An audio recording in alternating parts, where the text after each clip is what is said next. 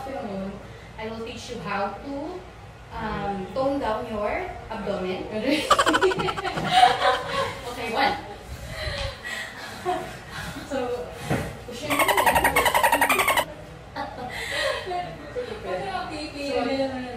Ngayon, because we are in the COVID pandemic, so kailangan natin mag-bully. Nabully pa ng So, yung mga isip-isip niyo kailangan maglakad-lakad, patakbo-takbo, yung yung boarding house, yung mag-volley. Kailangan nyo ng Ito na kayo volley. Pwede na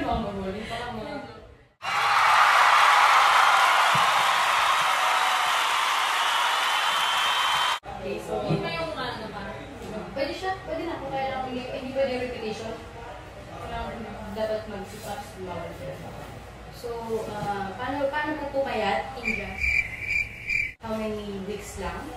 Paano pumayat? Within 2 weeks. So, yun, ano natin yan? I-share natin yan. Paano nga ba pumayat? Within 2 weeks. Paano? Paano pumayat? So, ang gagawin nyo lang is, of course, mind setting. mind setting. Kasi wala tayong mga kalaban dyan, kundi lang sarili natin. Again, wala tayong ibang kalaban sa ating pagtaba, kundi ang ating sarili.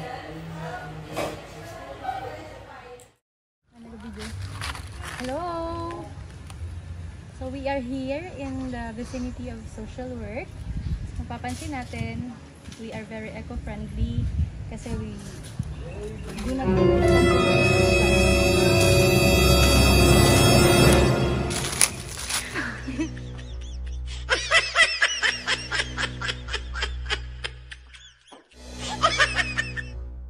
of course subscribe on my channel.